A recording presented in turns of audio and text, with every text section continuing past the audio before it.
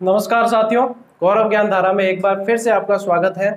वैसे तो मैं रणनीति जो है, सभी विषय की अलग अलग भी चैनल पर बता चुका हूँ, लेकिन अब आप विद्यार्थियों के मैसेज आ रहे थे लगातार कि सर अंतिम तीन महीने की एक बार बता दीजिए ताकि हम पूरी तरह से तैयारी में लग जाए। तो साथियों, ज़्यादा समय न गवाते हुए कुछ नहीं होता है, रणनीति में कुछ डूज होते हैं और कुछ डॉन्ट्स होते हैं, यानी कुछ करने लायक है और कुछ नहीं करने लायक चीज़ें उन्हें ध्यान में रखना होता है। यदि आप इसे फॉलो कर लेंगे, पहली बात तो इसे तभी देखना आप पूरा वीडियो जब आप फॉलो कर पाए। यदि आप फॉलो कर लेंगे तो फिर सिलेक्शन के काफ़ी पास पहुँच जाएँगे। फिर सिलेक्शन और आपके बीच में जो है, दूरी बिल्कुल नहीं रहेगी। तो साथियों, ज़्यादा समय को व्यर्थ नहीं करेंगे। बीच बीच में मैं आपको बताता रहूँगा क्या करना है। सबसे पहली बात जो मैंने बताई है पॉजिटिव और नेगेटिव दो तरह के वायरस होते हैं। एक तो अभी जो कोरोना वायरस चल रहा है, वो पॉजिटिव करता है तो डर लगता है। एक जो है नेगेटिव वायरस मैंने यहाँ पर कुछ लोगों के लिए कहा है, वे नेगेटिव वायरस हर जगह होते हैं। जब आपको वे भ्रमित करेंगे आप, जब डेट पास में आती है तो ऐसे लोग हर जगह पाए जाते हैं। इस ब्रह्मांड के अंदर हर जगह नेगेटिव पॉजिटिव दोनों चीज़ें होती है। यदि आप इस चैनल पर ही देखें तो काफ़ी सारे जो है पॉजिटिव एनर्जी वाले लोग मिलेंगे, लेकिन कुछ ऐसे भी होंगे जो नेगेटिविटी फैलाएँगे, जो हर व्यक्ति को डिमोटिवेट करने की कोशिश करेंगे तो उन लोगों से आपको बनानी है दूरी। जो नेगेटिव वायरस है उन वायरसों से दूरी बना लेना और जो पॉजिटिव वायरस है, इससे भी दूरी बनानी है क्यों आपको स्वस्थ रहते हुए तैयारी करनी है और इस नेगेटिविटी से बचना है। अब वे लोग ऐसी नेगेटिविटी फैलाएँगे, वे कहेंगे कि अभी भर्ती समय पर होगी नहीं, या फिर अब पढ़ के इस, ऐसे नहीं पढ़ना है, इससे सिलेक्शन नहीं होगा, ये नहीं होगा, बहुत सारे फॉर्म है सिलेक्शन नहीं होगा। कुल मिलाकर आप तक वे नेगेटिव नकारात्मक ऊर्जा पहुंचाएँगे। उन सबसे दूरी आप बना लेना और सबसे बढ़िया मैंने आपको बता रखा है, यदि कोई नेगेटिव बात करता भी है तो ओम इग्नोराय नम मंत्र जो है उसका जाप करें और इससे बच जाएँगे। दूसरी बात यह है, साथियों, सबसे ज़्यादा कमेंट्स जो आए और मैसेज आए कि, सर कॉलेज लेक्चरर की डेट डेट भी आई है और ये एग्ज़ाम डेट भी घोषित कर दी तो वापस अड़ेगी ये डेट और आगे जाएगी। साथियों, मैंने थंबनेल में भी आपको कहा है कि ये कचरा यदि दिमाग में भरा हुआ है तो निकाल देना। डेट बार बार आगे ये ये भर्ती रेट की जो है, सरकार की नाक का सवाल है और अब जो शिक्षा मंत्री जी ने, माननीय शिक्षा मंत्री जी ने सब कुछ सोच विचार कर ही फैसला लिया है, मेरा मानना है। और कॉलेज लेक्चरार की डेट इसमें नहीं अड़ेगी, क्योंकि अभी तक जो है वो विस्तृत टाइम टेबल कॉलेज लेक्चरार का नहीं आया है। हो सकता है इसमें 26 तारीख की डेट को फ्री रखे कॉलेज लेक्चरर के अंदर, और रेट मुझे लगता है कि 26 तारीख को ही होगी। इसलिए ये कचरा यदि दिमाग में भरा हुआ है कि 26 को नहीं होगी, अभी तो डेट आगे जाएगी, हम बाद में पढ़ लेंगे। तो ऐसी सोच यदि रखते हैं आपकी अभी भी एग्ज़ाम नहीं होगी, फिर आगे बढ़ेगी, उन्हें तो पढ़ना छोड़ देना चाहिए। वे तो ऐसे ही परेशानी देख रहे हैं। बढ़िया किताबें साइड में रखकर कोई धंधा कर लो, बाद में भी मजदूरी कर ली तो अभी से मजदूरी कर लो। ऐसी सोच तो दिमाग में आपको रखनी नहीं है। और जिसके अंदर ये सोच नहीं है, और आगे एग्ज़ाम डेट से संबंधित ना तो आप मुझे मैसेज करें, न कमेंट में पूछें, क्योंकि इस पर मैं पूरी तरीके से क्लियर कर चुका हूँ। मैं बार बार इन पर वीडियो बनाकर न आपका, न मेरा किसी का भी समय खराब नहीं करना चाहूँगा। क्योंकि मैंने ट्रिक सीरीज़ चालू की है और ट्रिक सीरीज़ में मुझे पूरा सिलेबस अभी कवर करना है। बहुत सारे विद्यार्थियों की आशाएँ जुड़ी हुई है।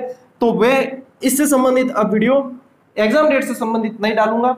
रणनीति में इसको भी शामिल कर लें कि आपको भी फालतू के वीडियोस ढूँढने में यूट्यूब पर बहुत सारे चैनल हैं जो सिर्फ़ और सिर्फ़ आपको एग्ज़ाम डेट के वीडियो हर दिन देंगे। लेकिन उनमें समय व्यर्थ करने से अच्छा है दो पेज किताब के ज़्यादा पढ़ लेना। नोट्स अब नहीं बनाने हैं, ये नहीं को ध्यान में रखना। अब तीन महीने का समय, यदि आप नोट्स बनाने में जाया कर देंगे तो आप सिलेक्शन से दूर होते चले जाएँगे। अब नोट्स नहीं बनाने, जितने बना लिए पर्याप्त है, या कुछ एक बाकी रहे, दस एक दिन में बन जाए तो बना लेना। बाकी अब नोट्स में समय आप गवाना मत। नोट्स आप बनाने जाओगे तो काफ़ी देर हो जाएगी। अब तो सीधी किताबों की पढ़नी है।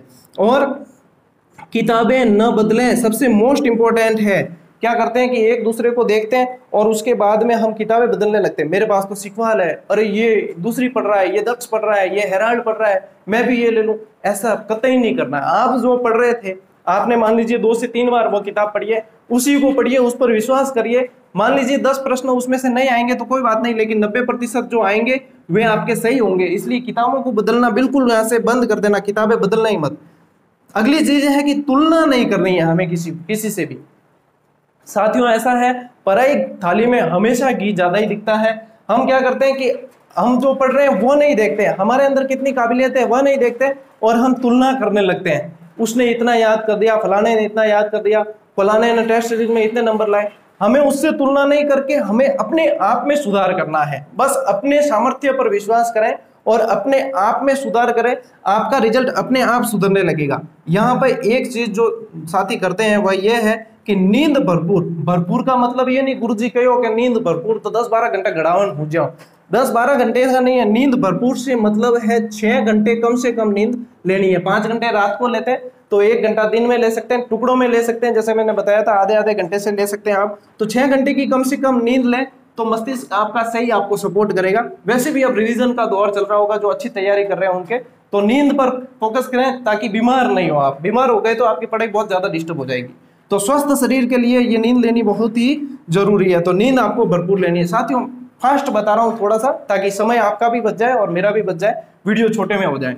भ्रामक चैनलों से दूरी बना लेना। भ्रामक चैनलों का मतलब है कि कुछ चैनल ऐसे भी मिलेंगे आपको, जो हर रोज आपको डेट बताएँगे। फिर कहेंगे, ये डेट ऐसे अड़ेगी, ये भर्ती, अब ऐसे आगे खिसकेगी, इस भर्ती में ये पेज चढ़ेगा, इसमें ये पेज चढ़ेगा। यदि आप उन भ्रामक चैनल की चंगुल में ही फंसे रहेंगे तो आप तैयारी नहीं कर पाएँगे। आप उसी की तरफ़ सोचते रहेंगे। और जिस व्यक्ति का जैसा नज़रिया होता है, उसे सब वैसा ही नज़र आता है। तो इनसे बच जाना और अपने नज़रिए को बिल्कुल स्पष्ट कर देना, अपना व्यू बिल्कुल एकदम सही रख लेना तो सिलेक्शन बिल्कुल चांस बढ़ जाएँगे। और इनके चंगुल में फंसोगे तो हर रोज वीडियो देखते रहना और यही सोचते रहना कि डेट आगे जाएगी। ऑनलाइन स्टडी कितनी करनी चाहिए, ये ज़्यादातर पूछा जाता है। साथियों, ऑनलाइन स्टडी डाउट क्लियर करने के लिए बहुत अच्छी है। अभी तक आप कर रहे थे तो बहुत अच्छी थी, क्योंकि डेट क्लियर नहीं हुई थी। अब डेट क्लियर हो चुकी है तो कई स्टूडेंट क्या करते हैं, चार से छह घंटे ऑनलाइन में गवा देते हैं। ऐसा नहीं करना है। ज़्यादा से ज़्यादा आप, ज़्यादा से ज़्यादा करना चाहते हैं तो दो घंटे आप पढ़े ऑनलाइन स्टडी कर, दो घंटे ज़्यादा से ज़्यादा आप कर लें। मेरे हिसाब से एक से डेढ़ घंटा करते हैं तो बेस्ट है। और उसके बाद में किताबों को ही पढ़ना है, क्योंकि किताबें ही आपकी साथी बनेगी। इसीलिए मैंने लिखा है, किताबों को अधिक समय ऑनलाइन स्टडी से ज़्यादा किताबों को अधिक समय देना चाहिए। जो अपन मान लीजिए मोबाइल में पीडीएफ पढ़ रहे हैं तो वो पीडीएफ इतनी अच्छे से याद नहीं होगी जितनी अपन किताब को पढ़ेंगे तो ज़्यादा याद होगी। उसमें अंडरलाइन कर सकते हैं, सारी अलग तरीके से रणनीति होती है तो वे ज़्यादा काम आएगी। मोबाइल दूर रखकर पढ़ाई करनी है। हमारी आदत होती है। हमारी आदत होती है कि हम मोबाइल पास में रखकर पढ़ते हैं, आधा घंटा पढ़ते हैं, फिर वापस मोबाइल देखते कुछ आया तो नहीं, कुछ आया तो नहीं। मान लीजिए कि टेस्ट सीरीज़ भी आपने ज्वाइन कर रखी है तो फिक्स टाइम पे टेस्ट सीरीज़ दे दी, फिर मोबाइल को दूर रख के और फिर वापस पढ़ाई कराए। कम से कम तीन चार घंटे आप पढ़ लिया, फिर एक बार मोबाइल चेक कर लिया तो कोई दिक्कत नहीं है। बार बार मोबाइल चेक करोगे तो वही चैप्टर बार बार पढ़ना पड़ेगा। तो इस मोबाइल को दूर रखकर पढ़ाई कीजिएगा, बेशक पढ़ाई आपकी अच्छी होगी। नब्बे नंबर पर अधिक फोकस करना है। साथियों, मान लीजिए एस है आपकी साठ नंबर की एसएसटी आएगी तो 60 नंबर की जो एसएसटी है, इसमें से आप कितनी भी मेहनत कर लोगे तो 45 से 50 के बीच में ज़्यादातर स्कोर रहता है। तो मेरिट आपकी बनेगी ये 60 नंबर। 30 नंबर की हिंदी 30 की साइकोलॉजी और 30 की दूसरी लैंग्वेज दो लैंग्वेज के 30 और 30 साठ और 30 नंबर की साइकोलॉजी तो इसे बिल्कुल भी हल्के में नहीं लें और इस पर ज़्यादा फोकस करें। नब्बे नंबर की साइकोलॉजी आपके आती है तो नब्बे नंबर इसमें आपके ज़्यादा नब्बे नंबर साइकोलॉजी नहीं, नब्बे नंबर के तीनों सब्जेक्ट हैं तो इसे अच्छे से कवर करें। ये यहाँ से आपके मेरिट डिसाइड करेगा। अब अंतिम बात जो है, आपको संयमित और धैर्यवान रहना है। इन तीन महीनों में कई सारी न्यूज़ आएगी बाहर बारिश हो रही है, बहुत झमाझम शायद आवाज़ डिस्टर्ब करें भी आपको। तो इन तीन महीनों में ऐसी बहुत सारी स्थिति आपको देखने को मिलेगी, जहाँ पे आपको कई तरह की न्यूज़ आएगी, कई तरह की आएगी। आपको हड़बड़ाहट बिल्कुल नहीं करनी है, आपको संयमित और धैर्यवान होकर तैयारी करनी है। जितना धीरज अपनाएँगे, जितना धैर्य रखेंगे, उतनी ही गहराई से तैयारी होगी, अच्छी तरीके से तैयारी होगी। संयम और धैर्य सबसे बड़े गुण है इतने अपनाना है। बाकी ये सारे मंत्र यदि आप अच्छे तरीके से इन्हें फॉलो कर लेंगे तो मान लीजिए आपका 90 परसेंट जो है, वह रणनीति बिल्कुल सटीक बैठेगी। बाकी किसी के भ्रम में नहीं आना है, न तो डेट आगे जाएगी अब, न दो एग्ज़ाम होने की संभावना है। अब एक ही एग्ज़ाम शिक्षा मंत्री जी ने क्लियर कर दिया है। वैलिडिटी बढ़ेगी भी तो सिर्फ़ 2017 वालों की बढ़ेगी, क्योंकि कोरोना से प्रभावित हुए। तो सारी चीज़ें लगभग साथियों मैंने इसमें क्लियर करने की कोशिश की है। और अब रणनीति से संबंधित सारी चीज़ मैं बता चुका हूँ। और न तो रणनीति पे अब वीडियो आएँगे, अब ट्रिक्स वाली सीरीज़ चलेगी, उस पर वीडियो आएँगी क्लासेस के। और अपनी टेस्ट सीरीज़ जो चल रही है टेलीग्राम में वे आप ज्वाइन भी कर सकते हैं। मॉडल पेपर और टेस्ट सीरीज़ इन तीन तीन महीनों में आपको अधिक जोड़ देना है, जिससे आपकी गलतियों का आकलन हो सके। तो मिलते हैं साथियों, बारिश बहुत ज़बरदस्त हो रही है। मिलते हैं अगले वीडियो में, अगली क्लास में, तब तक के लिए राम राम, जय हिंद।